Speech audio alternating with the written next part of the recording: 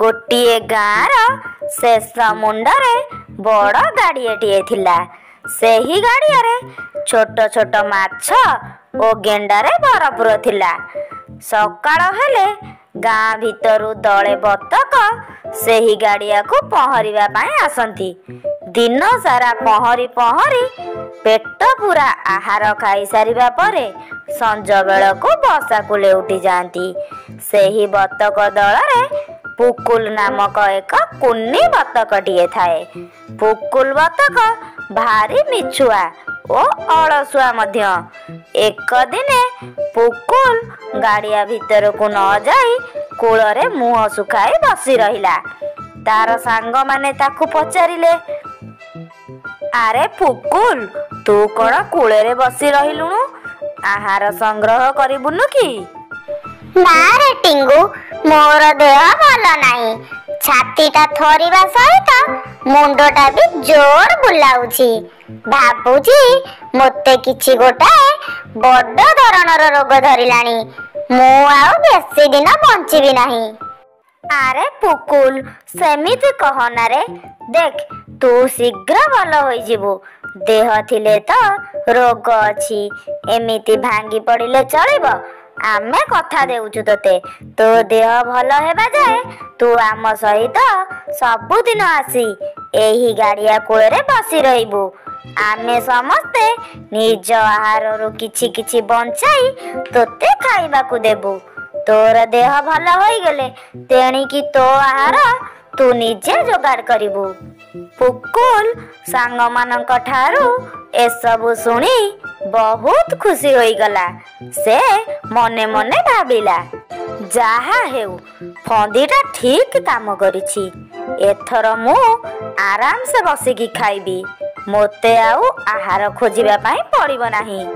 ଆରେ ପୁକୁଲ କଣ ଭାବୁଛୁ ତୁ? ମୋଟେ ବ୍ୟସ୍ତ ହନା ଟିଙ୍ଗୁ ଯାହା କହିଲା ଆମେ ସେଥିରେ ରାଜି ଅଛୁ। ତୋର ଦେହ ଭଲ ହେବା ଯାଏ ଆମେ ତୋତେ ସବୁଦିନ ଖାଇବାକୁ ଦେବୁ। ଆରେ କଥାରେ ଅଛି ପରା ବିପଦ ବେଳର ବନ୍ଧୁ ସିନା ପ୍ରକୃତ ବନ୍ଧୁ। ଏହାପରେ ପ୍ରତିଦିନ ପୁକୁଲର ସାଙ୍ଗମାନେ ତାକୁ ପେଟ ପୂରା ଖାଇବାକୁ ଦେଲେ। ପୁକୁଲ ମହା ଆନନ୍ଦରେ କୂଳରେ ବସି ବସି ଖାଇବାକୁ ଲାଗିଲା। ବସି ବସି ଖାଇବାରୁ ଦିନ କେଇଟାରେ ପୁକୁଲର ଚେହେରାଟା ପୁରା ବଦଳିଗଲା ତାର ଥୁକୁଲ ଥାକୁଲ ଦେହକୁ ନେଇ ସେ ଭଲ ଭାବେ ଯିବା ଆସିବା କରିପାରିଲା ନାହିଁ ନିଜର ଫନ୍ଦି କାଳେ ସାଙ୍ଗମାନଙ୍କ ନିକଟରେ ଧରା ପଡ଼ିଯିବ ଏଇଆ ଭାବି ସେ ପୁଣି କହିଲା ଦେଖୁଛ ତ ସାଙ୍ଗମାନେ ଦିନକୁ ଦିନ ମୁଁ କେମିତି ଫୁଲି ଯାଉଛି ନା ଆଉ ବେଶୀ ଦିନ ନୁହେଁ ତୁମମାନଙ୍କ ପାଖରୁ ମୋର ବିଦାୟ ନେବାର ଶେଷ ସମୟ ଆସିଗଲା। ଏହି ସମୟରେ ପୁକୁଲ ଓ ତାର ସାଙ୍ଗମାନେ କଥା ହେଉଥିବା ସମୟରେ ଏକ ବିଲୁଆ ନିକଟରେ ଥିବା ବୁଦା ମୂଳରେ ଛକି ରହି ଭାବୁଥାଏ। ଆରେ କେଡ଼େ ଡଉଲ ଡାଉଲ ବତକ ଗୁଡ଼ାଏ ଏଠି ଅଛନ୍ତି? ଏମାନଙ୍କ ମଧ୍ୟରୁ ଗୋଟିଏ ଆଜି ମୋର ଭୋଜନ ହେବ। ମୋର ପାଟିରୁ ତ ଲାଳ ଗଡ଼ିଲାଣି। ସୁଯୋଗ ଦେଖି ଏମାନଙ୍କ ମଧ୍ୟରୁ ଗୋଟିଏ ଜାନ୍ତି ନେବି। ଏହି ସମୟରେ ପୁକୁଲର ସାଙ୍ଗମାନେ ପୁକୁଲକୁ ବୁଝାଉଥାନ୍ତି।